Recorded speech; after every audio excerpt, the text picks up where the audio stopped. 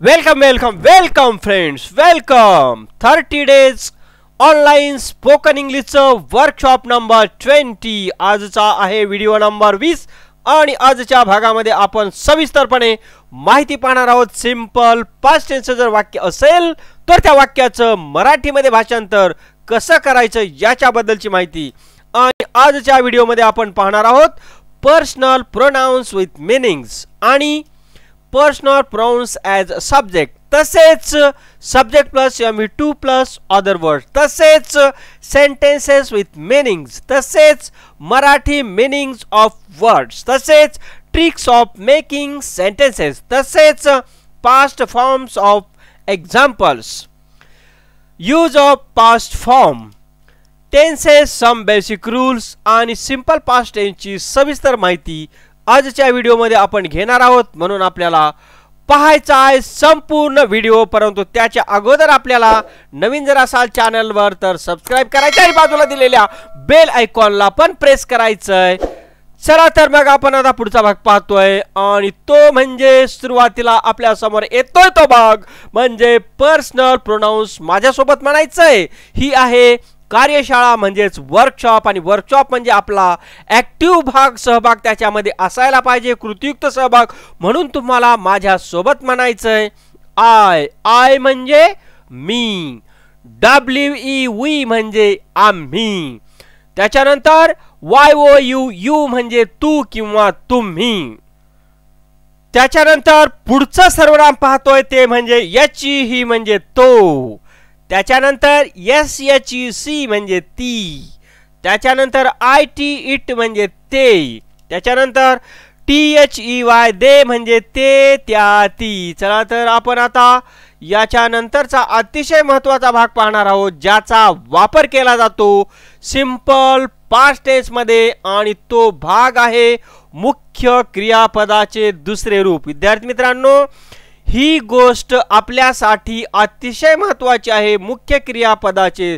दुसरे रूप असल्याशिवाय इंग्रजीमध्ये सिंपल पास्ट टेन्स म्हणजे साध्या भूतकाळाचं वाक्य आपण बनवू शकत नाही. म्हणून आपल्याला ही गोष्ट पक्की माहीत असायला पाहिजे मुख्य क्रियापदाच्या दुसऱ्या रूपाच्या बाबतीतली. मुख्य क्रियापदाचं दुसरं रूप हे सर्वसाधारणपणे इंग्रजीतील मुख्य क्रियापदाच्या पहिल्या रूपाला काळजीपूर्वक ऐकायचं पहिल्या रूपाला डॅश ईडी. कोणता? Dash E. आपल्यासमोर आलाय डॅश ईडी. हा प्रत्यय जोडून मुख्य क्रियापदाचं दुसरं रूप बनवलं जातं. मुख्य क्रियापदाचं दुसरं रूप बनवलं जातं आणि मुख्य क्रियापदाच्या दुसऱ्या रूपाचं जेव्हा आपण मराठीत भाषांतर करतो तेव्हा मराठीत भाषांतर केलेल्या शब्दाच्या शेवटी त्या शब्दाला जोडूनच ल येतं. काय येतं? ल. काय येतं? ल. काय येतं? ल. अतिशय महत्वाची गोष्ट आहे. विद्यार्थी मित्रांनो ही आपण लक्षात ठेवायला पाहिजे. आपण आता आता त्याचं उदाहरण पाहतोय. P L A Y E D. Played म्हणजे खेळले. बघा P L A Y play म्हणजे खेळणे.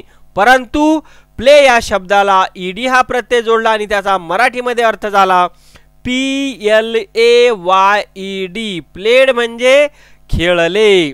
आणि मुख्य क्रियापदाच्या दुसऱ्या रूपाला इंग्रजीमध्ये म्हणतात पास्ट फॉर्म काय म्हणतात? पास्ट फॉर्म आता याच्यानंतर आपण पाहतोय ती मुख्य क्रियापदाची काही उदाहरणं. विद्यार्थी मित्रांनो आपल्यासमोर उदाहरण येत आहे ते म्हणजे मुख्य क्रियापदाच्या दुसऱ्या रूपाचं उदाहरण येत आहे ते. R E A D read म्हणजे वाचले. पुढचं उदाहरण आहे S P O K E spoke म्हणजे बोलले. त्याच्यानंतर पुढचं उदाहरण आहे A S K E D asked म्हणजे विचारले. त्याच्यानंतरचं उदाहरण L A U G H E D laughed म्हणजे हसले. त्याच्यानंतर पुढचं उदाहरण आहे.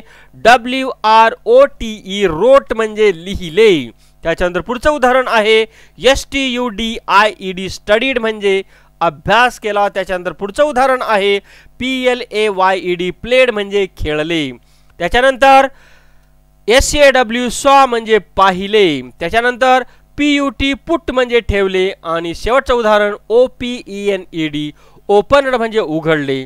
आणि मुख्य क्रियापदाच्या दुसऱ्या रूपाला काय म्हणतात हे आपल्याला वेगळं सांगण्याची गरज नाही. काय म्हणतात? आपल्यासमोर आलंय ते म्हणजे पास्ट फॉर्म काय म्हणायचं? पास्ट फॉर्म मुख्य क्रियापदाच्या दुसऱ्या रूपाला म्हणतात पास्ट फॉर्म आणि आता त्याच्यानंतर आपण सिंपल पास्टेन्स म्हणजे साधा भूतकाळ याचं स्ट्रक्चर कसं असतं याची माहिती घेणार आहोत. आणि याच्यामध्ये सुरुवातीला असतो करता त्याच्यानंतर असतं मेन व्हर्ब टू जे ईडी प्रत्यय जोडून तयार होतं त्याच्यानंतर असतं कर्म आणि शेवटी इतर शब्द येतात. आता आपण याचं स्ट्रक्चर पाहतोय. स्ट्रक्चर म्हणजे रचना. वाक्याच्या सुरुवातीला असतो तो सब्जेक्ट त्याच्यानंतर असतो main verb two past form त्याच्यानंतर ऑब्जेक्ट आणि ऑब्जेक्टच्या नंतर असतं इतर शब्द. ही आहे सिंपल पास्ट टेन्स म्हणजेच साध्या भूतकाळाची रचना. आणि साध्या भूतकाळाचं वाक्य आपण आता उदाहरण पाहतोय.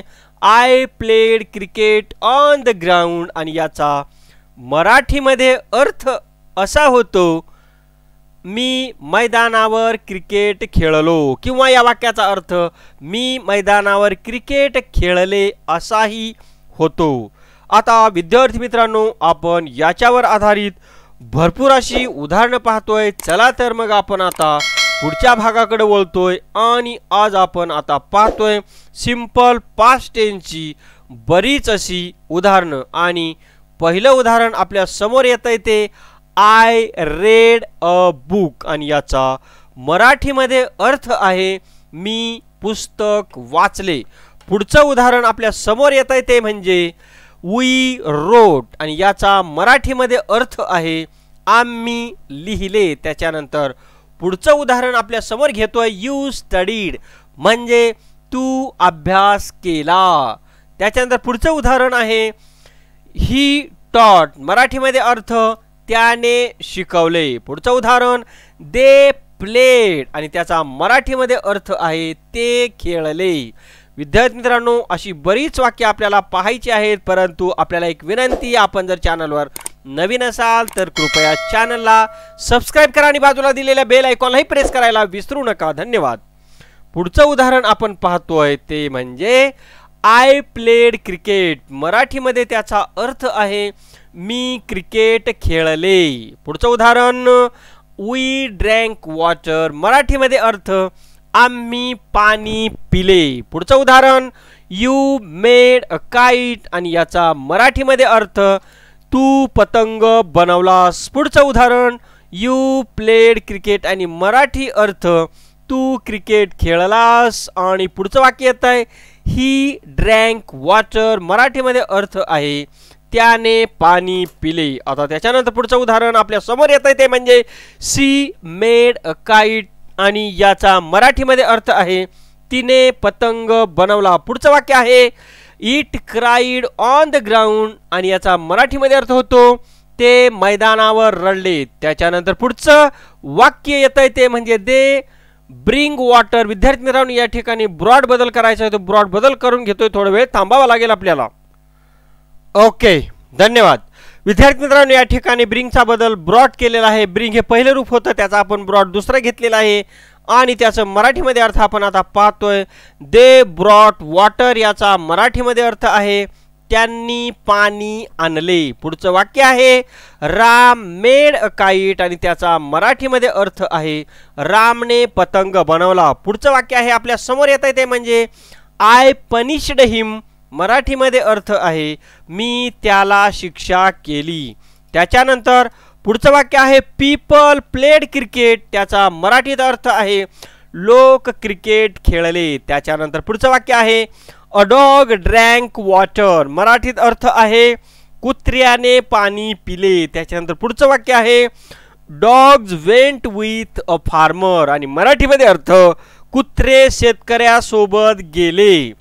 पुढचं वाक्य आहे अ टीचर टॉट इंग्लिश आणि त्याचा मराठीमध्ये अर्थ शिक्षकांनी इंग्रजी शिकवली. त्याच्यानंतर पुढचं वाक्य आहे a horse ran on the road मराठीमध्ये अर्थ आहे घोडा रस्त्यावर धावला. आणि आता त्याच्यानंतरचं वाक्य आपल्यासमोर येतंय ते म्हणजे आय एट अँड ॲपल आणि त्याचा मराठीमध्ये अर्थ आहे मी सफरचंद खाल्ला किंवा खाल्ले. पुढचं वाक्य आहे आय ओपन द स्कूल आणि त्याचा मराठीमध्ये अर्थ आहे मी शाळा उघडली. मी शाळा उघडली. विद्यार्थी मित्रांनो त्याच्यानंतर पुढचं वाक्य आपल्यासमोर येत आहे ते म्हणजे आय लर्न हिंदी आणि त्याचा मराठी अर्थ आहे मी हिंदी शिकलो किंवा मी हिंदी शिकले. त्याच्यानंतरचं पुढचं वाक्य आहे स्टुडंट्स हर्ड अ स्टोरी आणि त्याचा मराठीमध्ये अर्थ आहे विद्यार्थ्यांनी गोष्ट ऐकली. त्याच्यानंतर पुढचं वाक्य आपल्यासमोर येत आहे ते म्हणजे अथिप रॅन आणि त्याचा मराठीमध्ये अर्थ आहे चोर तेथे पळाले. आता त्याच्यानंतर आपल्यासमोर वाक्य येत आहे ते म्हणजे बॉईज रेड अ नॉव्हेल आणि त्याचा मराठीमध्ये अर्थ आहे मुलांनी कादंबरी वाचली. पुढचं वाक्य आहे वी वेन टू स्कूल मराठीमध्ये अर्थ त्याचा आहे आम्ही शाळेत गेलो. पुढचं वाक्य आहे वी रोट लेटर आणि त्याचा मराठीमध्ये अर्थ आहे आम्ही पत्र लिहिले. पुढचं वाक्य आपल्यासमोर येत आहे. We dance on the road आणि त्याचा मराठीमध्ये अर्थ आहे आम्ही रस्त्यावर नाचलो. पुढचं वाक्य आहे you slept on the mat आणि त्याचा मराठीत अर्थ आहे तू चटईवर झोपलास किंवा तू चटईवर झोपलीस. आता त्याच्यानंतर आपल्यासमोर विद्यार्थी मित्रांनो पुढचं वाक्य येत आहे आणि ते म्हणजे ही रेड अ बुक आणि त्याचा मराठीमध्ये अर्थ आहे तो म्हणजे त्याने पुस्तक वाचले. पुढचं वाक्य आहे वी वेंट टू स्कूल मराठीमध्ये अर्थ आहे त्याचा आम्ही शाळेत गेलो. पुढचं वाक्य आहे दे मेड अ फिल्म त्याचा मराठीमध्ये अर्थ आहे त्यांनी चित्रपट तयार केला. पुढचं वाक्य we danced on the road मराठीमध्ये अर्थ आहे आम्ही रस्त्यावर नाचलो. त्याच्यानंतर पुढचं वाक्य आहे you slept on the mat आणि त्याचा मराठीत अर्थ आहे तू चटईवर झोपलास किंवा झोपलीस. त्याच्यानंतर आपल्यासमोर पुढचं वाक्य येत आहे ते म्हणजे सी आस्क द टीचर आणि त्याचा मराठीमध्ये अर्थ आहे तिने शिक्षकाला विचारले. पुढचं वाक्य आहे दे लाफ दिअर आणि त्याचा मराठीमध्ये अर्थ होतो ते तेथे हसले. पुढचं वाक्य आहे इट वॉकड आणि त्याचा मराठीमध्ये अर्थ आहे ते चालले. पुढचं वाक्य आपल्यासमोर येत आहे ते म्हणजे राम स्पोक विथ रावण. त्याचा मराठीमध्ये अर्थ आहे राम रावणासोबत बोलला. पुढचं वाक्य आहे a peon slept a swept a room आणि त्याचा मराठीमध्ये अर्थ आहे शिपायाने खोली झाडली. त्याच्यानंतर आपल्यासमोर पुढचं वाक्य येत आहे ते म्हणजे सचिन पेंटेड अ वॉल आणि त्याचा मराठीमध्ये अर्थ आहे सचिनने भिंत रंगवली. पुढचं वाक्य आहे अ फार्मर शिव इन द फील्ड आणि त्याचा मराठीमध्ये अर्थ आहे शेतकऱ्याने शेतात पेरले. पुढचं वाक्य आहे गणेश डान्स दियर आणि त्याचा मराठीमध्ये अर्थ आहे गणेश तेथे नाचला. पुढचं वाक्य आपल्यासमोर आहे. इट रेनड हियर मराठीमध्ये अर्थ आहे येथे पाऊस पडला. त्याच्यानंतर पुढचं वाक्य आहे रोहित कॉल्ड हिज फ्रेंड मराठीमध्ये अर्थ आहे त्याचा रोहितने त्याच्या मित्राला बोलावले.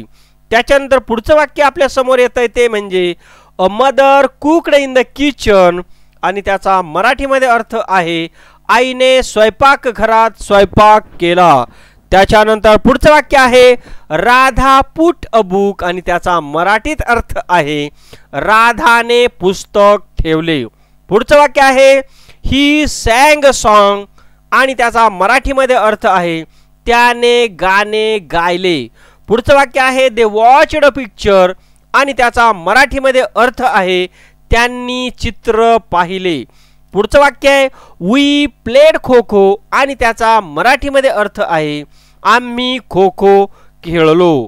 त्याच्यानंतर पुढचं वाक्य आपल्यासमोर येत आहे ते म्हणजे Roshan stopped near the station. आणि त्याचा मराठीमध्ये अर्थ आहे रोशन स्टेशनजवळ थांबला. पुढचं वाक्य आहे मोहन कॉल्ड हर आणि त्याचा मराठीमध्ये अर्थ आहे मोहनने तिला बोलावले. पुढचं वाक्य आहे a students completed his homework त्याचा मराठीत अर्थ आहे विद्यार्थ्याने त्याचा गृहपाठ पूर्ण केला. पुढचं वाक्य आहे ही रेड अ बुक मराठीमध्ये त्याचा अर्थ आहे त्याने पुस्तक वाचले. आणि त्याच्यानंतर पुढचं वाक्य आहे a cow ran on the road मराठीमध्ये त्याचा अर्थ आहे गाय रस्त्यावर पळाली. तसंच विद्यार्थी मित्रांनो आपण पुढचं वाक्य पाहतोय आणि ते वाक्य आहे दे लर्ट अ स्टोरी आणि त्याचा मराठीमध्ये अर्थ आहे त्यांनी गोष्ट ऐकली. त्याच्यानंतर पुढचं वाक्य आहे सोनू रॅन देअर आणि त्याचा मराठीमध्ये अर्थ आहे सोनू तेथे पळाला. पुढचं वाक्य आहे दे रेड अ नॉव्हेल आणि त्याचा मराठीमध्ये अर्थ आहे त्यांनी कादंबरी वाचली. पुढचं वाक्य आपल्यासमोर येत आहे ते म्हणजे ही अर्नड मनी आणि त्याचा मराठीमध्ये अर्थ आहे त्याने पैसे कमावले. पुढचं वाक्य आपल्यासमोर येत आहे ते म्हणजे दे ब्रॉट मिल्क आणि त्याचा मराठीमध्ये अर्थ आहे त्यांनी दूध आणले. विद्यार्थी मित्रांनो आपण जर चॅनलवर नवीन असाल तर कृपया चॅनलला सबस्क्राईब करा आणि बाजूला दिलेल्या बेल आयकॉनलाही प्रेस करायला विसरायचं नाही. त्याच्यानंतरचा आपण याच्यानंतरचा व्हिडिओसुद्धा आपण पहा कारण त्याच्यामध्ये सुद्धा अतिशय महत्त्वाची माहिती आपल्याला दिली जाणार आहे. विद्यार्थी मित्रांनो आपण संपूर्ण व्हिडिओ पाहताय आमचं प्रोत्साहन वाढवताय आम्हाला प्रेरणा देताय. याच्याबद्दल थँक्यू फॉर वॉचिंग विद्यार्थी मित्रांनो पाहत रहा Jadhav online education Jadhav online एज्युकेशनला subscribe करायला पण विसरू नका.